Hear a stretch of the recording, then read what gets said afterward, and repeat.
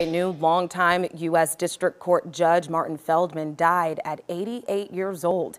President Ronald Reagan appointed him in September of 1983. The Senate confirmed this nomination a month later. Feldman graduated from Tulane University. He also served as judge for the Foreign Intelligence Surveillance Court from 2010 to 2017.